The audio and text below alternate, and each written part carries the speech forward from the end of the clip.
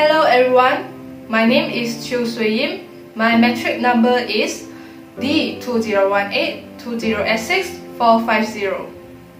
This is the third video for the third question which is about DR ABC. What is CPR? Cardiopulmonary resuscitation CPR is a life-saving technique that's useful in many emergencies such as heart attack or near drowning, in which someone's breathing or heartbeat has stopped. CPR principles D R A B C. D is for danger, R is response, A is airways, B is breathing, and C is circulation. So let's start the first step which is danger. Make sure the victim and the rescue safe.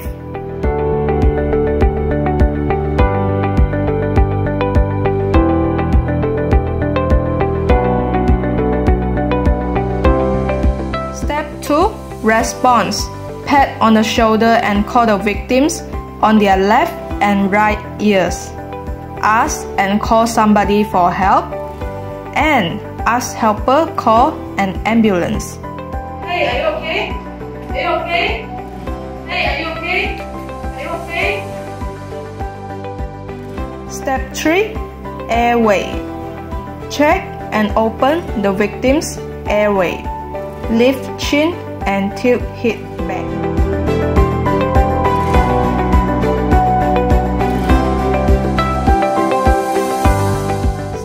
Number 4. Breathing. Spend 10 seconds checking for sign of normal breathing. Hear, feel, and look.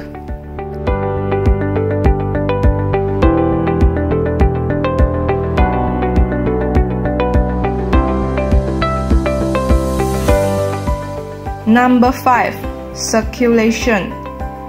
If the victim no sign of circulation, start CPR.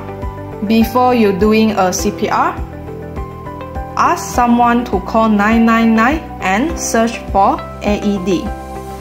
What is AED? Automatic external defibrillator is used to help those experiencing sudden cardiac arrest.